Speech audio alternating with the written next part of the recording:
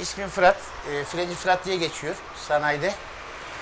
E, 35 hemen hemen 25-30 seneden beri de bu sektörün içindeyim. Evet yılların vermiş olduğu bir tecrübe var değil mi? Tabii bir de e, Frenci Sefer'in çırağıyım yani.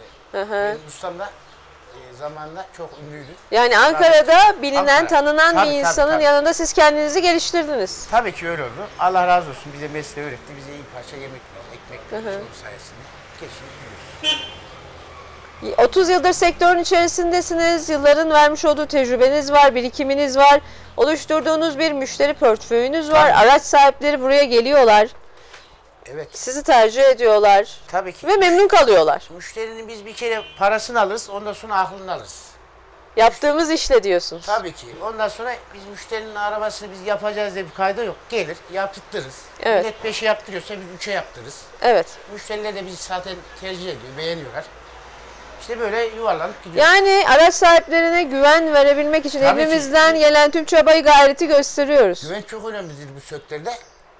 Güven olmazsa olmaz zaten. Güven olmazsa hiçbir şey yapamazsınız.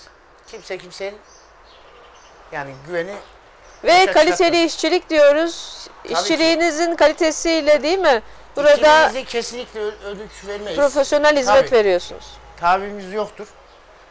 Yeri gelip paramızı kaybederiz ama müşterimizi kaybetmeyiz. Parayı zaten kazanıyoruz iyi kötü. Evet şimdi Fırat ustamız burada eee, profesyonelliğini gösteriyor gerçekten. Ve eee, araç sahipleri sizden memnun kaldıkça sizi Tabii tercih internet- etmeye devam ediyorlar. Tabii bir de internette internete girdiği zaman direkt çıkıyor yani. Bayağı da bir popüler mi internette?